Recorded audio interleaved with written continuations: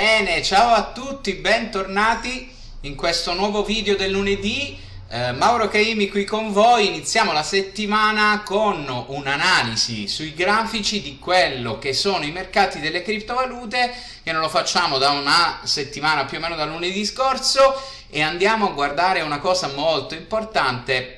una figura di continuazione del trend che Bitcoin sta disegnando su dei time frame uh, daily. Andremo a valutare questa figura di inversione. Andiamo a vedere anche un'altra cosa. Come si disegna? Qual è il modo giusto di disegnare questa figura di continuazione eh, che è abbastanza evidente, si chiama wage, ve lo dico subito, è una specie di, di, insomma, di cuneo eh, che è solitamente legata a una continuazione del trend, quindi questa fase praticamente di laterale ribassista, di indecisione del mercato dovrebbe poi andare a, finire in teoria di analisi ciclica e di analisi tecnica classica dovrebbe andare a finire poi in una eh, continuazione del trend rialzista che Bitcoin, eh, ricordo, ha iniziato lo scorso dicembre 2018. Eh, I dubbi però su queste figure di continuazione esistono sempre ragazzi e quindi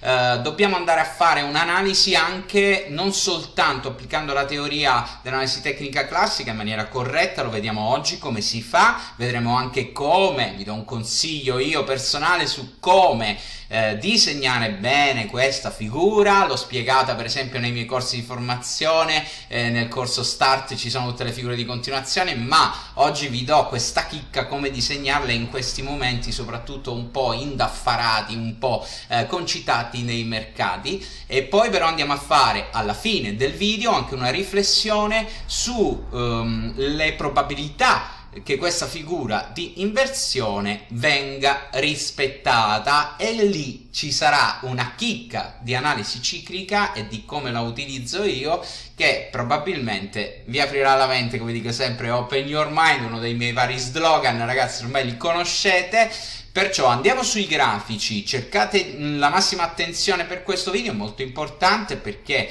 andremo ad avere un'idea generale anche di quello che potrebbe essere eh, la prossima settimana, questa settimana ovviamente in corso, appena iniziata, e andiamo a fare anche un po', un pizzico di formazione professionale perché vi spiegherò come si disegna bene questa figura. Allora, dietro di me vedete già il grafico, io mi metto Ragazzi, gli occhiali perché se no non vedo bene. Allora, qui eh, intanto eh, volevo dirvi in maniera abbastanza evidente, io ho disegnato già il wage che lo vedete, eh, questo qui, questo è il triangolo che è una figura di eh, continuazione del trend e eh, insomma ragazzi per quale motivo io l'ho disegnato in questo modo che sembra essere un uh, modo diverso uh, di disegnare questa figura rispetto alla um, chiusure quindi ai massimi e ai minimi che vedete uh, ed è qui già insomma il primo um, diciamo valore aggiunto di questo video che volevo indicarvi quindi il primo obiettivo di questo video. Intanto ingrandiamo la um, il grafico per vedere il wedge in maniera abbastanza netta, evidente, insomma Bitcoin è qui ragazzi, guardate che ha fatto, ci sono dei segnali di analisi ciclica e di analisi tecnica importantissimi in questa fase, nella Trading On Academy ne parliamo da uh, una settimana, eh, abbiamo fatto anche un video di approfondimento molto importante, stiamo attendendo una view, eh, vediamo se riuscirò a svelarvela fra uh, qualche settimana, stiamo attendendo con tutti gli utenti, vediamo se il mercato va verso quella direzione e ci dà effettivamente il, ehm, la possibilità di giocare le nostre carte di trading perché è, è una view interessante se dovesse verificarsi, una cosa un po' complottista ragazzi, una cosa un po' strana insomma che ci è venuto in mente. Va bene, allora questo wage ragazzi si disegna così, perché? Perché uh, potremmo fare ehm, riferimento diciamo a questi livelli di massimo, vedete che sono delle candele, quindi a questo punto dovrei spostarlo e disegnarlo in questo modo. Però, però per una serie di motivi, per una serie di motivi che sono legati all'attuale situazione di Bitcoin e soprattutto ad un motivo molto particolare, cioè questo spike rialzista, questo massimo eh, di giugno che non lo reputo assolutamente ehm, un massimo reale per Bitcoin, ho eliminato gli spike in questo caso nel disegno di eh, questa figura di inversione. E poi c'è anche qui, ragazzi, dovremmo farlo in questo modo, quindi guardate come cambia eh, c'è una bella differenza se io faccio la figura disegnata così che eh, è più ampia di quella che vi ho disegnato io oppure se la facciamo come abbiamo fatto prima e come si fa semplicemente in un modo ragazzi. Allora c'è un problema di fondo. Questi spike di bitcoin 1 2 in particolare quelli rialzisti, non quelli bassisti che potremmo anche accettarli ragazzi, ma quelli rialzisti, soprattutto quello del 29 giugno del 2019 e quello del 10 luglio del 2019 sono degli spike dovuti all'estrema volatilità del mercato di Bitcoin. Um, questo anche ragazzi, ecco questo spike ribassista, però in questo momento nel disegno della figura di continuazione del trend non ci interessa, quindi non lo valutiamo, ma eh, quello che invece sono questi due massimi eh, sono profondamente, eh, non dico manipolati ragazzi, però eh, pieni di rumore, pieni di rumore, cioè a noi non serve eh, prenderli in considerazione e questo un po' è a discrezione dell'analista, a discrezione del trader, qui dovete essere un po' bravi, ok? Dovete avere esperienza per valutare questa cosa, perché? Perché in realtà ragazzi questo spike non ha nessun significato né da un punto di vista di trading eh, mensile, quindi time frame mensile, né dal punto di vista di time frame settimanale, cioè semplicemente il mercato ha esagerato come fa sempre su questi eh, tipi di mercati, quindi andiamo a considerare poi questo massimo di Bitcoin come un massimo da, da prendere prendere in considerazione per fare un'analisi eh, di natura tecnica, quindi un disegnino in sostanza, ragazzi, io non lo vedo fattibile. Ovviamente è un'opinione, quello che sto dicendo qui si può fare tranquillamente un wedge disegnato in questo modo, possiamo anche per esempio eh, per la pluralità di espressioni disegnarli entrambi, ragazzi, nulla vieta, anzi lo facciamo, quindi questo lo lasciamo così, ok? E adesso andiamo a disegnarci l'altro, quello un po' più stretto. Possiamo poi tenerli tutti e due d'occhio, ovviamente, se volete usare, eh, diciamo, questo tipo di strategia strategia del wage. Um, andiamo però a disegnare l'altro. Come si fa? Quello che io ritengo più corretto, più logico. Andiamo qui ragazzi ed eliminiamo le shadow. Come si eliminano le shadow? Consideriamo soltanto le close. Guardate un po' come cambia il mercato. Intanto, in maniera evidente, ragazzi, il mercato risulta più chiaro da leggere perché il mercato qui, vedete, ha fatto degli spike senza senso, non tanto i minimi, vi ripeto, quelli di questi giorni che sono eh, molto simili alle close, vedete, sono, più o meno siamo lì, non cambia granché, ma qui e qui siamo in punti senza senso, perché da un punto di vista lineare guardate come che buchi che crea, guardate, guardate qui e qui, proprio praticamente sono quasi inesistenti. Allora andiamo a fare questo disegno di questo wage numero 2, vi cambio il colore, lo mettiamo rosso, come si fa? Partiamo da qui, vedete ragazzi, e ce ne andiamo qua. Intanto l'unione dei massimi risulta a questo punto molto più chiara, le unisce tutte e tre, vedete, ha meno rumore, questo è importante comprenderlo, giusto o sbagliato, direi meno rumore. E poi l'altro è qui ragazzi, vedete,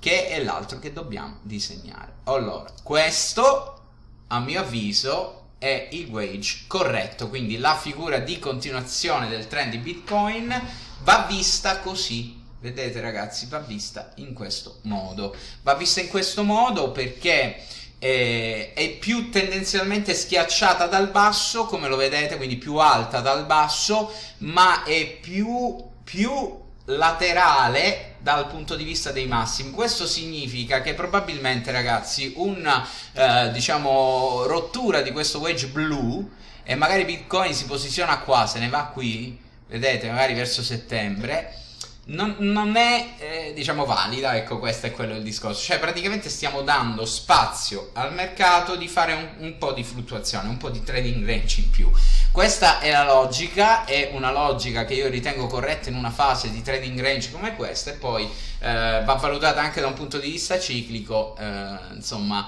eh, che c'è lì questa idea che mh, mm, mi è balenata, insomma, di cui vi ho parlato prima, che, eh, di cui ho discusso con un video uh, special nella Academy. Allora, Andiamo a guardare come cambia il wage nel disegno anche con classica, il nostro classico diciamo grafico eh, da un punto di vista di, eh, con le shadow, quindi con tutti i prezzi, compresi i massimi e i minimi, quindi senza ridurre il numero delle informazioni. Vedete come cambia, eh, la, il wage blu è più pendente, dal basso, dall'alto verso il basso e lascia più spazio verso giù ragazzi mentre il wage rosso è più costruito, più, lin- più lineare, più uh, standard. Però come lo interpretiamo? Beh, allora se il mercato va a rompere verso il basso questo, uh, questa figura ragazzi e fa così ci deve chiudere chiaramente sopra. Queste sono le close daily. Quindi se noi applichiamo il rosso in sostanza dobbiamo guardare poi la chiusura della giornata. Se noi applichiamo invece il blu dovremmo tecnicamente guardare anche i minimi ragazzi però io vi, vi, dico sempre insomma close daily vedete la rottura di supporti di resistenza la, la rottura di figure di continuazione del trend va fatta guardando i, le chiusure daily del eh, grafico ancora di più su bitcoin ragazzi che la volatilità è enorme soprattutto eh, per quanto riguarda i massimi, i minimi, queste shadow impressionanti qui ragazzi senza senso, quindi eh, andiamo a guardare le close. Bene, vi ho detto come si disegna un wage, secondo me come va disegnato in maniera corretta, eh, quello che userò io per quanto riguarda Bitcoin in questo momento è quello lì rosso che vi ho detto, quindi io gli ricambio colore, ci rimetto il mio eh, colore preferito che è quello, il bluette, e, um, l'azzurrino, non so come si chiama questo colore, è questo qui che vi ho fatto vedere lo cancello perché voglio pulizia sul mio grafico e non voglio informazioni fuorvianti, troppe informazioni a volte sono negative. Allora, andiamo poi a fare la chiusura di questo video analizzando quella che è l'analisi ciclica della settimana e vedendo un po' anche eh, questo accenno diciamo a questa possibilità. Allora, questa è la figura eh, di eh, wage, quindi di continuazione che il mercato di Bitcoin sta disegnando. Intanto, ragazzi, la sta facendo sul grafico daily, ma non la sta facendo sul grafico weekly, perché il grafico weekly, eh, oggi non riusciamo a vederlo, eh, che non l'ho preparato, ma il grafico weekly, se guardiamo le close della settimana, non sta facendo un wage, ma sta facendo una specie di, mm, di rettangolo. Anch'essa una figura di continuazione, sicuramente, ma eh, un po' diversa da quella eh, che stiamo vedendo qui. Quindi eh, la probabilità della eh, validità di questa figura di continuazione del trend si va ad assottigliare perché su un time frame maggiore il mercato non la sta rispettando, ragazzi. E poi c'è un problema, c'è un problema di cui stiamo discutendo anche qui da giorni nella Academy Premium. Oggi ne parliamo anche qui da un punto di vista di analisi ciclica abbiamo un ciclo in attesa eh, che è un nuovo mensile che dovrebbe essere iniziato il 15 di agosto. Ragazzi, questo nuovo mensile va in close più o meno, più o meno intorno al 10, la prima decade di settembre, poi sapete che hanno una grande uh, fluttuazione, grande variabilità, però se così fosse ragazzi, allora o il mercato ci fa un super up se ne va qui eh, diciamo in questi giorni e poi mi va a fare una close ciclica ok? In questo modo facendo un ciclo rialzista eh, intermedio perché insomma eh, sarebbe un ciclo anomalo devo dire la verità eh, oppure ragazzi questa figura del wage ha difficoltà ad essere confermata perché la conferma della figura di continuazione avviene solo se il mercato sale qui quindi se se ne va sopra il trend line discendente, a quel punto conferma il wage, la figura di continuazione, ma incontrerebbe immediatamente la resistenza statica a 12.100, che poi sono 12.000 circa, vedete ragazzi, questa qui, quindi